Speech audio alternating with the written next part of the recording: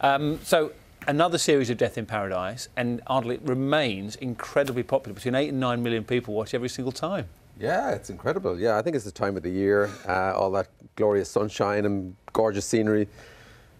Inspires people. To, as we were saying beforehand, I reckon it, the number of people who book a holiday based on watching yeah. Death in Paradise. Yeah. There must be a spike every time it's on. Well, I think it comes out at the time of the year when people are feeling very low, and and, and Christmas is over. Mm-hmm. They're skint. Yeah. Uh, they've broken the resolutions. They're feeling bad about themselves. yeah. And this uh, comes into their life, this shaft of light. it does. For me, it's the sort of sunshine and Josephine. I mean, every time I watch it, I am just want to be there. I'm imagining it's not. Perhaps is it difficult? I mean, it doesn't feel like it's difficult filming, but there are there issues sometimes. Yeah, it's not as easy as it looks like. uh, filming on a beach is very difficult, very difficult. It's the yeah. heat, it's very humid, you have the spotlights, the makeup, the costume. It's not easy at all. The heat yeah. doesn't bother us Irish at all. yeah. We're fine. I mean, I'm a Caribbean girl and I suffer from, from the really? heat. Yeah, so, but, Where does this series take us then?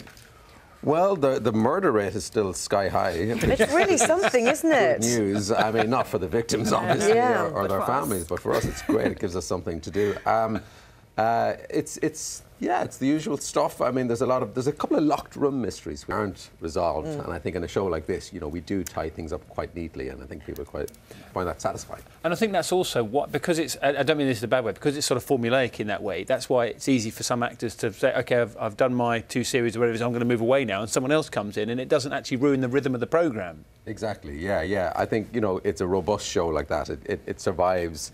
Uh, an infinite number of cast changes and everything else. Uh, um, no, absolutely. Uh, you know, uh, you know, the, you know, the pleasures are many. You know, the, the, the, I think it's ultimately about the puzzle itself. Mm. You know, people love this this idea of solving this, you know, apparently impossible puzzle. Um, Josephine, everybody who's listening to Accent this morning will realise that you're fr you're French. Yeah. And um, what's it like having to learn those scripts in English? Was it is it tougher for, in English than in French or not? Yeah, it is because it's my second language, yeah. of course. But the first year it was series four, um, I had nightmares pretty much every night because I was so nervous. Working with Ardal, yeah? yeah, no, no, it was not sure that. Yeah. a lot of people, yes.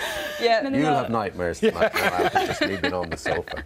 Yeah, it was very difficult for me, but now after like five years, it's yeah. getting more and more easier for me to learn script in English. And it's shown in France as well? It is, but it's during summer. Uh, it's quite popular in France too. Yeah. I'm sure it is. Yeah. Well, it's very popular here. Thank you very much for coming on and talking to us all about it as well. Uh, Death in Paradise, BBC One, tomorrow night at nine. And then you can book your holiday straight away afterwards. Good luck to all the people in that, on that island. Uh, thank you very